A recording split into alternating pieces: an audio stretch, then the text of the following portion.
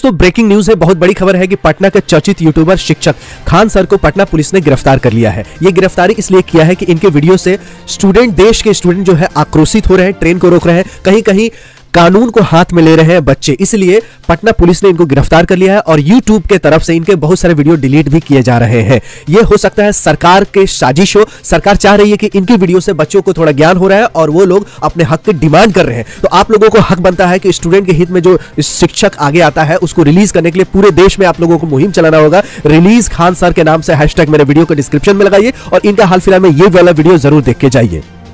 जय हिंद। देखिए आज 26 जनवरी है अ, इस दिन कोई भी प्रोटेस्ट नहीं होना चाहिए। हम ये वीडियो कल भी डाले हुए थे रात में भी। उस वीडियो को लगभग पाँच लाख लोग देखे थे यूट्यूब ने उसको हटा दिया। इसलिए एक रिक्वेस्ट नहीं हर स्टूडेंट को ये आदेश है कि आज 26 जनवरी को कुछ भी आप लोग का प्रोटेस्ट नहीं होना चाहिए क्योंकि आपका प्रोटेस्ट अब गलत डायरेक्शन में जा रहा है वायलेंस होते जा रहा है यहाँ पर। देखिए, आज के डेट में दिल्ली में देखेंगे तो प्रधानमंत्री, राष्ट्रपति की सुरक्षा में सब लोग बिज़ी रहते हैं। और अगर राजधानी की बात करेंगे तो राज्यपाल और मुख्यमंत्री की सुरक्षा में रहते हैं। पूरा पटना प्रशासन आज 26 जनवरी को अरेंज करने में लगा इस बीच आपका प्रोटेस्ट कहीं से भी जायज़ नहीं है। आज 26 जनवरी राष्ट्र को समर्पित होना चाहिए। किसी का भी आज के दिन प्रोटेस्ट नहीं होना चाहिए।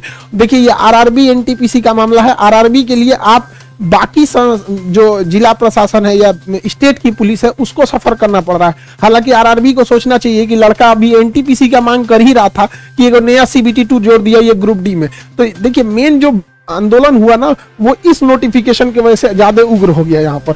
हालाँकि ये राजनीतिक नहीं है, कोई भी प्रधानमंत्री और रेल मंत्री से सवाल नहीं पूछ रहा है। आरआरबी ने गलती किया है, उससे लोग सवाल पूछ रहे हैं। देखिए, आंदोलन में कोई टीचर का ये आंदोलन नहीं है, खुद वहाँ पर जिला प्रशासन गए थे तो पूछने गए थे कि आपका लीडर कौन है? ये किसी भी का लीडर का नहीं है, ये स्टूडेंट का है। स्टूडेंट को समझना पड़ेगा, जिस दिन आपका कोई लीडर आया ना, उस दिन आपका प्रोटेस्ट खत्म हो जाएगा। क्योंकि लोग कह देंगे कि ये तो शिक्षक माफिया या फिर कोचिंग माफियों का काम है। इसलिए आप लोग समझिए, ये आप खुद है इसमें, कहीं से भी इसमें वायलेंस नहीं होना चाहिए।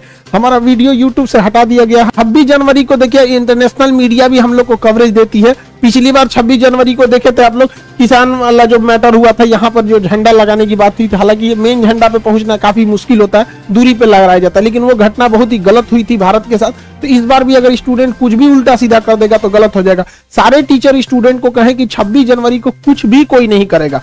स्टूडेंट लोग अब कंट्रोल के बाहर हो जाएँगे दिक्कत होगा, कई जगह ट्रेनों में तोड़फोड़ भी कर दिया, आगजनी हो गई है। हालाँकि पुलिस भी कई जगह, एक दो जगह स्टूडेंट से कुछ ज़्यादा ही मिसबिहेव किए। इलाहाबाद के ऐसे लड़कों का कहना है। बस मेनली यही था कि आज ये स्टूडेंट के लिए विनती नहीं, उनके आदेश है।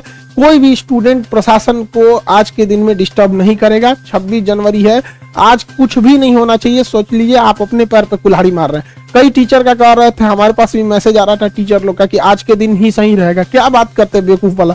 आज के दिन कोई भी आंदोलन नहीं करिएगा, वरना फिर टीचर भी आपके को सपोर्ट नहीं कर पाएँगे। ये आंदोलन आप ही लोग का है, आप ही समझ रहे हैं इस चीज़ को। इसलिए समझिए, हम लोग के वीडियोस को यूट्यूब डिलीट कर दे रहा है। मेल कर रहा है कि आपके मैसेज को आपके मतलब इसको डिलीट किया जाता है, इसलिए हम लोग भी ज़्यादा वीडियोस नहीं दे पा रहे हैं। याद रहे, किसी भी जगह पे हिंसा नहीं होना चाहिए। हिंसा होगा तो फिर आप लोग का आंदोलन ये बिल्कुल समझिए सिंपैथी को खो देगा।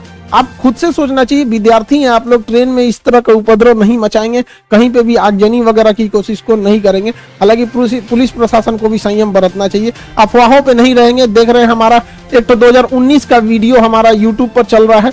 जो 2019 का है जो पुलवामा हमला हुआ था तो उस पर हम लोग रोड, रोड प्रोटेस्ट किए थे या प्राइवेटाइजेशन का 2019 का था वो चल रहा है। और प्रशासन को भी सोचना चाहिए कि 2000 शर्ट पहन के अगर कोई इंसान वीडियो बना रहा है वो ठंडी के दिन का नहीं है। प्रशासन भी पता नहीं कहाँ सो रहा है। शर्ट पहन के अगर कोई वीडियो आज के डेट में डाल रहा है मतलब वो गर्मी के दिन का वीडियो। तो पुराने वीडियोज़ को भी देखे अब वो पुराना वीडियो है और नया है।